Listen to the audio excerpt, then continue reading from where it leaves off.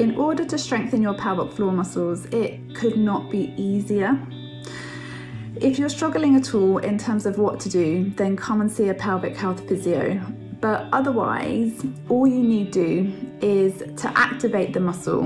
You need to imagine that you're stopping wind.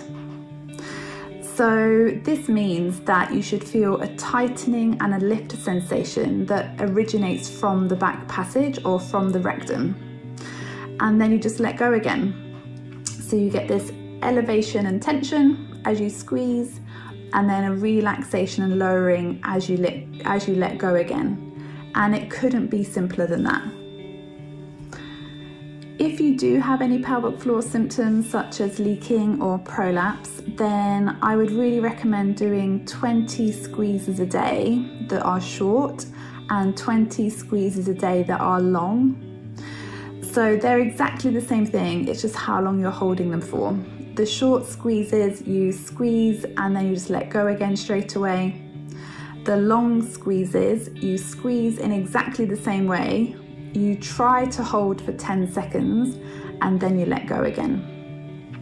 If you can't quite hold for 10 seconds to begin with, don't worry, this is completely normal. If you can perhaps hold for two or three seconds, then just start there. And every week or two, just add one more second on until you get to be able to hold for 10 seconds. The position in which we do our pelvic floor squeezes also has an impact. So if they're new to you, start laying down as this is the easiest position to do them in.